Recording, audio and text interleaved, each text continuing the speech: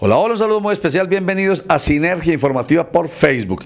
El gobernador de Antioquia difiere del comunicado de la Continental Gold a propósito del ataque de la disidencia del Frente 36 de las FARC que dejó tres personas muertas y cuatro personas heridas.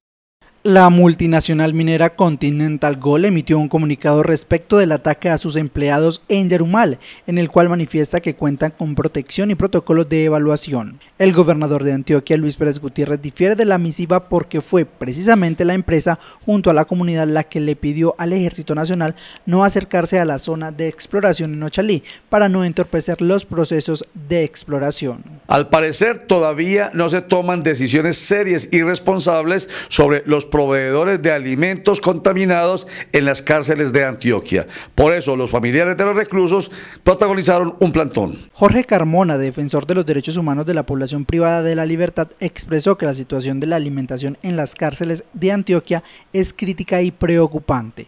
Por eso, familiares de los reclusos decidieron realizar un plantón a las afueras de la alcaldía de Medellín este lunes 24 de septiembre. Juan David Valderrama, aspirante a la alcaldía de Medellín, asegura que contrario a lo que se señala en su contra, fue él quien atacó los diferentes directorios políticos que había en el INDER. El precandidato a la alcaldía de Medellín por el movimiento Todos Juntos, Juan David Valderrama, se defiende de las acusaciones en su contra en las cuales se le señala de presuntamente haber conformado un directorio político en el INDER. Dice que fue todo lo contrario porque cuando llegó a la entidad la encontró dominada por las compenendas políticas. Crecemos para darte seguridad y calidad de vida. Bello, ciudad de progreso. En lo que va corrido del año, nueve personas han fallecido ahogadas en el departamento de Antioquia.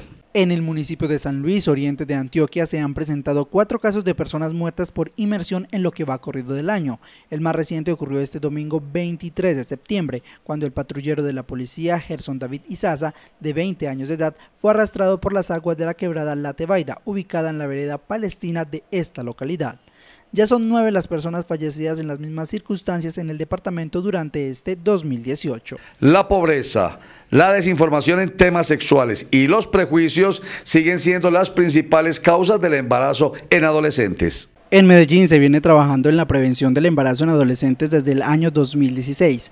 En 2017 era superior a los 4.000 casos se tiene proyectado que al terminar el año 2018, el número de adolescentes embarazadas baje a un poco más de 3.000 casos en la capital antioqueña. A propósito del ataque al campamento de la Continental Gold en Yerumal, ya apareció la persona que estaba desaparecida.